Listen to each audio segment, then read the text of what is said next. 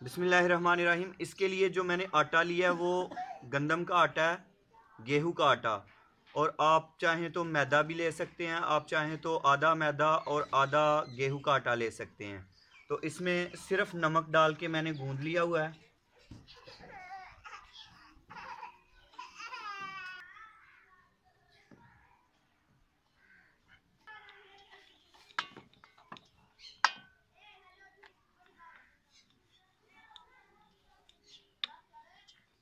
جس طرح روٹی پکائی جاتی ہے اسی طرح اس کو بیل لینا ہے۔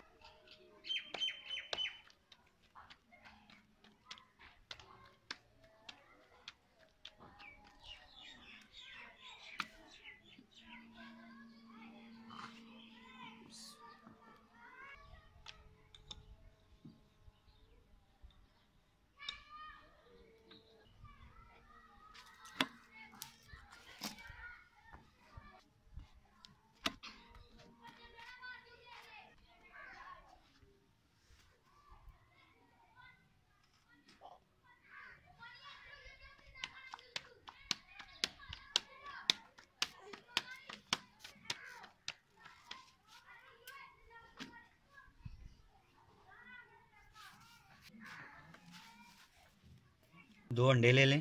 کیونکہ ہم نے آٹے میں بھی نمک شامل کیا ہوا ہے، تو اس میں تھوڑا رکھیں نمک اور اچھی طرح پھینٹ لیں۔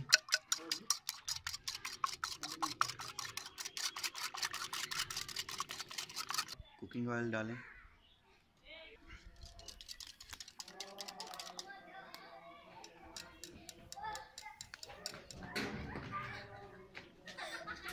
اب اس پہ انڈے پھیلا لیں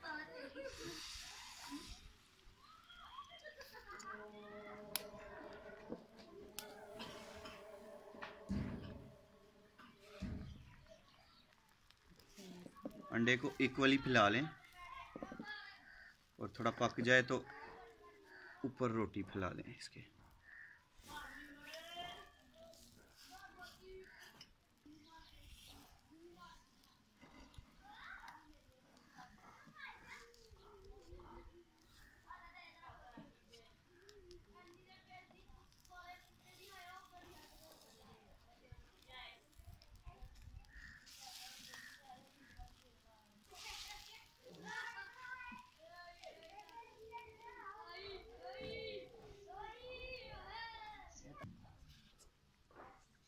اب اسے لیں باقی رول جو ہیں وہ بھی اسی طرح بنا لیں اب اس میں تھوڑا کھیرا شامل کریں تھوڑا پیاز تھوڑی ہری مرچ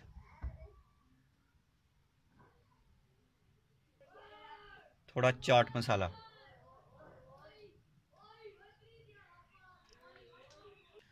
اس کے بعد میں نے ایک یہ چٹنی بنائی ہوئی ہے ٹماٹر کی، اس کا جو لنک ہے وہ ڈسکرپشن میں موجود ہے۔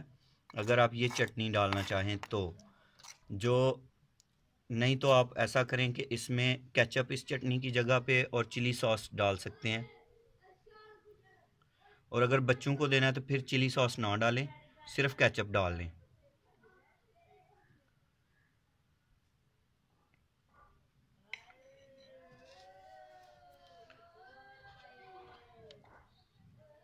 یہ ایسے اور یہ ہو گیا جی آپ کا ایگ رول تیار ہو گیا۔ اس طرح آپ ریپ کر دیں، اس طرح ریپ کر کے آپ بچوں کو دیں، بچوں، بڑوں، سب کو دیں۔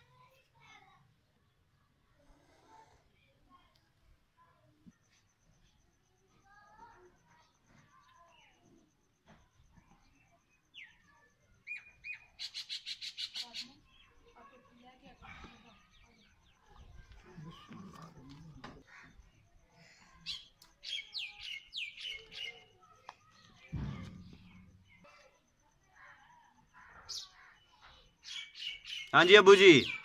ਅੱਜ ਦਾ ਬਾਅਦ ਪੁੱਤਰ ਮਜ਼ਾ ਆ ਗਿਆ।